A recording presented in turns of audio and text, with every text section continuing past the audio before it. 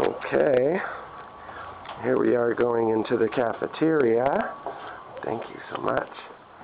Oh, it's so nice and shiny and clean in here. Yeah. Look at it. Wow.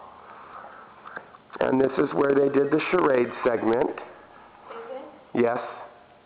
And you can see everything. The line is still here for the uh, food. This is where they go through the line. I'm going to walk you right through it. And get in line here. And this is where all the food was lined up here. Davey was pushing his way through. You can see it filmed that way. But they go through the line here.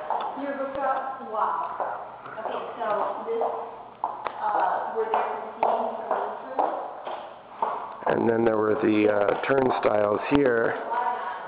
This is where they go by a door. Michael does his charades number. And remember, Dolores comes running up to the window right here. This is where Michael, Dolores, comes running up to the window and tells all the pink ladies, come on, come on, come on. And then Michael performs his number right here. And this is the uh, complete empty space here. They've been fixing everything up. It looks really, really nice actually. Oh, here you can see the actual original lights that were in the reproduction number. These have all been replaced. I just noticed this. It's a good thing. All these lights were the original lights that were in the classrooms, and they've since been replaced.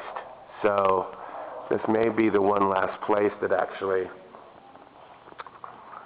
still has those lights. But here's where they did the number, right here. They go through the line, the person puts the tray up and over their head.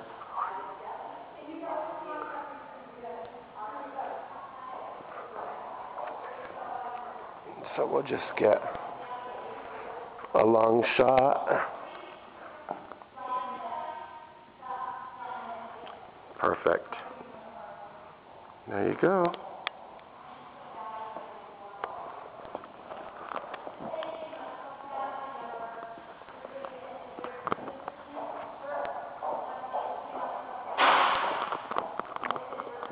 There you go.